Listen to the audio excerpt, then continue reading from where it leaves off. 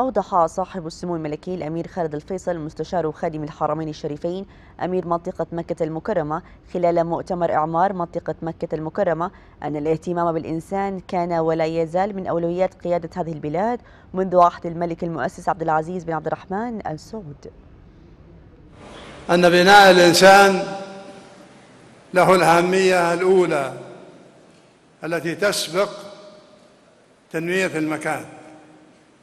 فنحن نتحدث أولا عن أهم بقعة مباركة على وجه هذه الأرض بالنسبة للمسلمين ألا وهي مكة المكرمة.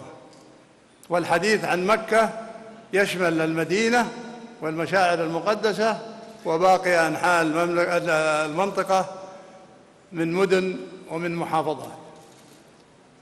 الإنسان هنا له أهمية كبرى.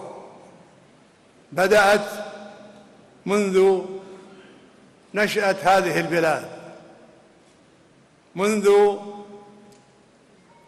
أن توحدت المجموعات والجماعات والقبائل والمدن والقرى تحت مسمى واحد.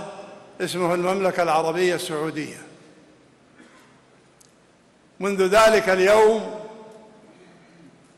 والمسؤولون عن هذا المشروع الذي أصبح معجزة القرن العشرين في نظري. لأن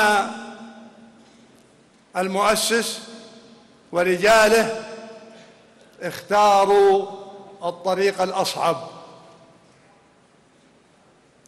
والطريق الذي لا يمكن أن يتجرأ باتخاذه أو على اتخاذه في ذلك الوقت وفي ذلك الزمن إلا عبد العزيز بن عبد الرحمن ورجاله.